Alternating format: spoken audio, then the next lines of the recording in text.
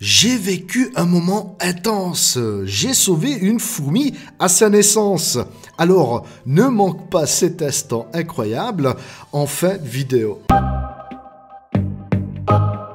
Hey salut, bienvenue c'est Feufeu, bienvenue sur la chaîne des Régis en myrmécologie. Je crois que cette vidéo sera l'une des plus surprenantes de la chaîne. Imagine, j'ai réussi à installer deux espèces différentes dans le même tube à essai et ça fonctionne. Bon ok, même si j'ai mis toutes les conditions nécessaires dans la réussite de ce projet, je dois être honnête avec toi et t'avouer que ben, eh bien, Mère Nature m'a donné un gros coup de main dans cette réussite. Si tu ne le savais pas encore, chez les fourmis, certaines espèces sont spécialisées dans le parasitisme d'autres colonies et même pour d'autres spécialisées dans l'esclavagisme. On les surnomme les fourmis esclavagistes. Bah, ça, me paraît logique. Grâce aux formica sanguinéa qui font justement partie de cette espèce, j'ai eu l'opportunité d'essayer cette surprenante forme d'élevage de la formica room. On découvre le setup de ma petite fondation de Formica sanguinea, ou devrais-je dire euh, de Formica sanguinea fusca. Afin de faire euh, fonder ma gine, j'ai fait un apport de cocons de Formica fusca qui à la naissance euh, se sont imprégnés de l'odeur de la gine et lui sont devenus fidèles. Magine sanguinéa, incapable de fonder seule sa première génération d'ouvrières, a donc profité de ces jeunes esclaves pour poser les fondations de son futur empire. Et comme tu peux le constater à l'image, les premières naissances d'ouvrières sanguinéas sont apparues. Tu les reconnais par leur taille plus petite et la couleur orangée de leur abdomen. Je t'avoue qu'il est vraiment surprenant d'observer deux espèces différentes dans le même tube à essai. C'est vraiment pas commun dans un élevage. Pour couronner le tout, ce genre de fondation est relativement très compliqué, ce qui rajoute de la saveur au résultat et je me sens très chanceux de pouvoir te le partager en vidéo sur la chaîne.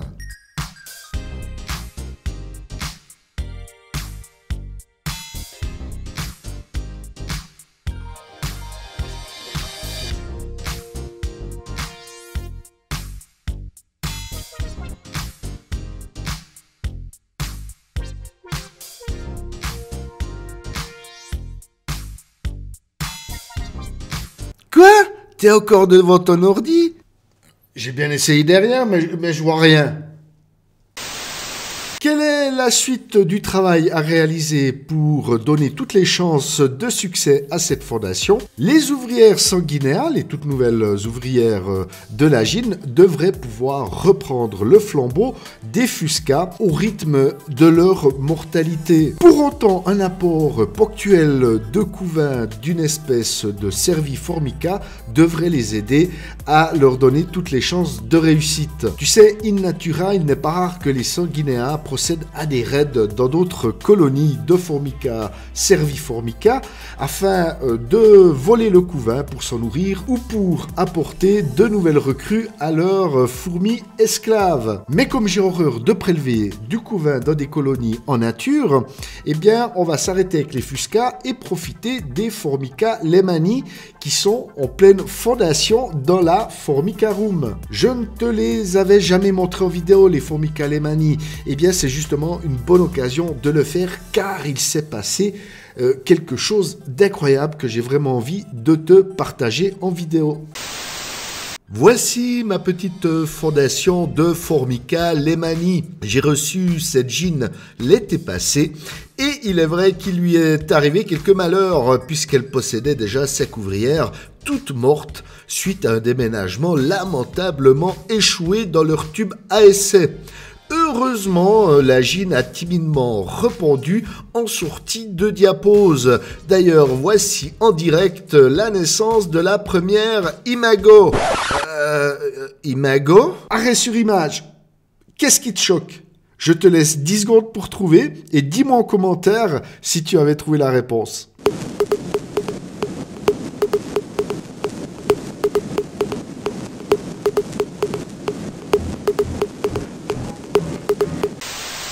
À la naissance, on nomme la fourmi une imago. Elle est souvent translucide, dénuée de pigmentation.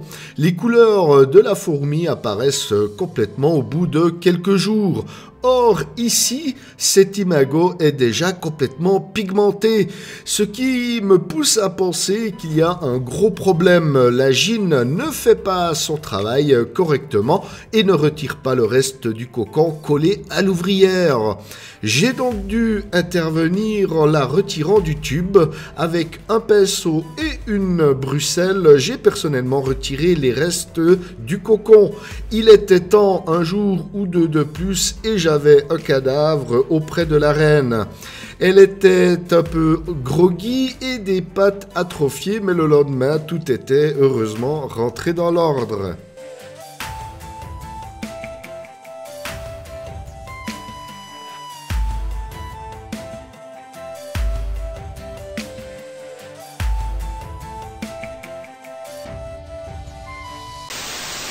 Hey, je te l'avais dit, il s'est passé des choses surprenantes ces derniers jours dans la Formica Room. D'ailleurs, si tu ne veux rien manquer de la suite des aventures, je t'invite à t'abonner à la chaîne, à cliquer sur la cloche pour manquer aucune vidéo. Et si le cœur t'en dit, tu peux même rejoindre la zone membre en cliquant sur l'icône rejoindre et ainsi découvrir toutes les coulisses de la chaîne en vidéo. Pour toi bien, plein de bonnes choses pour tes colonies et à tout bientôt sur la chaîne. Bye bye